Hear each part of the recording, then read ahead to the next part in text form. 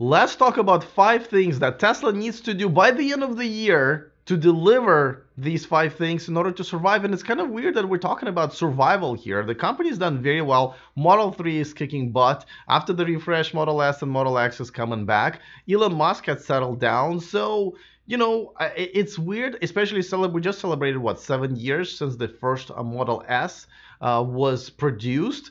Um, and I know seven years is a long time, but at the same time, it's a very short amount of time for the manufacturer just blossom like this. Yet we're still talking about survival. And, you know, I think if they accomplish these five things, they won't just survive. I think they will really thrive. And, and that's what we're going to talk about it coming up next.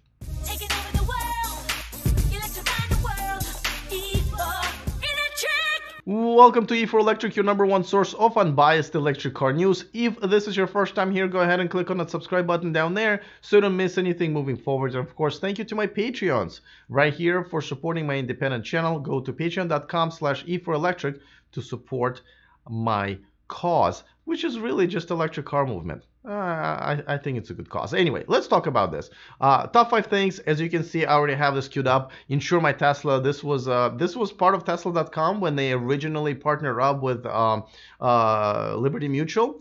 I tried tried getting a quote from them. Um, couldn't get it. Then I had to follow up, and I finally got it. It was more expensive than my Farmers, which normally is one of the more expensive insurance companies anyway. Um, I've checked in with a lot of people in my Facebook group for Tesla owners over 30,000 members and um, gotten the same feedback that was very expensive and then one day just disappeared.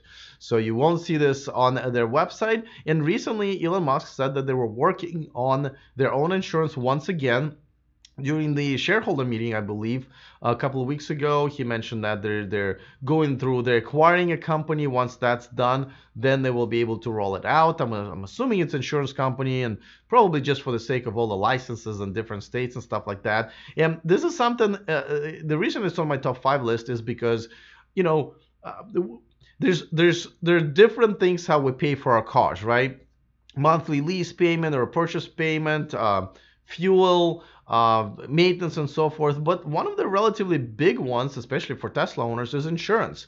Uh, my insurance was about $200 per month which is way more than if I was to get myself a BMW 7 Series or Mercedes S Class. So it's just, and it's been going up and up and up. Some of it is insurance rates, but some of it, you know, insurance companies realizing that when a, you know, Tesla gets in an accident, the parts are very expensive and you have to wait for quite some time. So they have to pay for the, um, for the loaner cars, for rental cars and storage fees. And so they've been, those rates have been going up and up and up. So this is part of the cost that by the way tesla itself doesn't really calculate into their savings or you know the real world cost of their cars when they advertise them on their website and you know i've criticized them for that and quite a few people have as well for not you know promptly 100% displaying the real price uh, but if the you know their calculations just don't include this high insurance cost. So i really hope they can get this done because it's important for a lot of people they get really frustrated when they have to pay more uh, for their cars. The number two is uh, the factory in shanghai. Uh, this is the gigafactory so but i just wanted to uh, uh, uh this is the prettiest pictures that I've, I've had. I know we've all seen pictures that you know every week it's changing of the Shanghai factory that's being built really really fast. Uh, but we need to see if they're going to finish it and if they're going to start producing cars if it's going to have any issues. Of course they you know they kind of starting from scratch from you know with suppliers. Will panasonic be one of the suppliers? So we'll have to get somebody else. Um, would that be a good partnership? Are they are they able to uh, get other you know suppliers and third party providers in china? Again this is the first time they're doing it and pretty much all of the other legacy manufacturers have already got their sort of uh, hands dirty in um, in in that industry in there. So so you know there's there's a much uh, uh, um, a steeper hill to climb i believe there um, than people believe. It's not just matter of just building the factory but at the same time if they're able to achieve it they will be able to really up their sales in China because you know they won't have to pay you know really really high tariffs and we don't even know what's going to be in the next couple of years because we still have a tariff war as they call it, going on with China. So that is extremely important. China is the number one market for electric cars. So if you're not at least trying in that market, you're not going to succeed globally either. So that's another important thing for them to finish and start producing cars by the end of the year. Model 3s um, that will define a lot of their future, a lot of what's going to be happening in 2020. All right, let's move on to number three. Before that, of course, a quick reminder that this video and this channel is sponsored by Byton. Uh, check out their all-electric SUV called M-Byte coming to the US and Europe at the end of the next year, starting at only $45,000. Join myself and over 50,000 people who have already made reservations. Uh, it's really costs zero dollars. Uh, there's absolutely no deposit, about 60 seconds, and boom, you're done. So go to the description of this video, click on that link so you can reserve your Byton today. All right, number three, V3 superchargers. Now, one thing you've unveiled something, another thing you actually have delivered. And these are all retrofits of the superchargers around the country and around the world. They just started with their own uh, a Fremont factory where they've installed one and unveiled it only a week ago. So there's a long way to go because they have quite a few of them. But this is really going to move them forward into faster charging because now they have to compete with Electrify America here in the US and Ionity and a few other ones in Europe.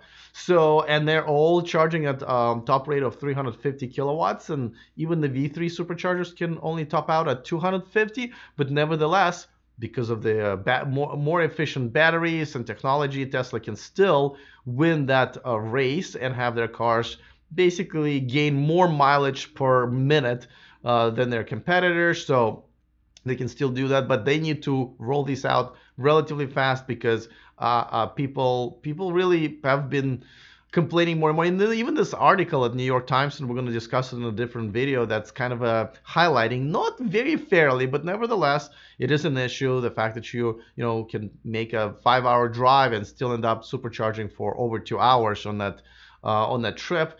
So this is very important. And of course, there will not be sharing power between two stalls like it is right now. It's going to be dedicated power. So that's another um, a, a, another upgrade that people are definitely waiting for. And it's very important that they finish by the end of the year.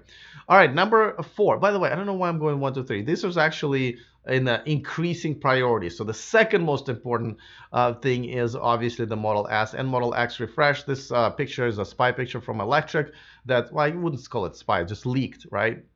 They've already just done a refresh, uh, which basically motors, the battery, uh, the computer chip, um, and a few other things. So what's calling a Rave, Raven edition. Um, and a lot of people bought it, including Eli Burton from uh, My Tesla Adventure, my guest every Wednesday. He's very happy with it, the best Tesla ever made. Um, so they've made a lot of uh, technical upgrades and people are loving it, but now there will be refresh on the inside and maybe even on the battery side as well. Uh, but they better deliver because this refresh from what these pictures are, are, are showing is that they're going to make the uh, interior of the Model S and Model X more like a Model 3. And I think it's a mistake. I think a lot of people would rather prefer them go into more of a, a luxury interior level.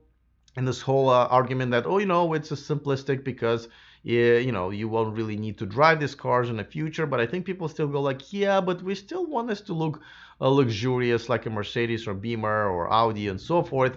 So i really hope uh, you know I, I really hope this is not it. Also having a large horizontal monitor makes the driver reach way too far on the right.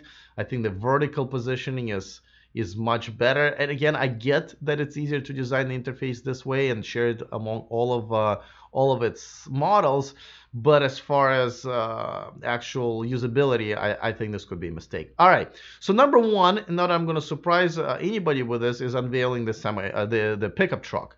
And um, here's a picture, kind of brighten it up a little, um, of, of what uh, Elon told us it's going to look like. We nobody really knows what we're looking at. It is the front. He did confirm it is the front. Not that there was any like questions, because obviously it was a back, the lights would be red.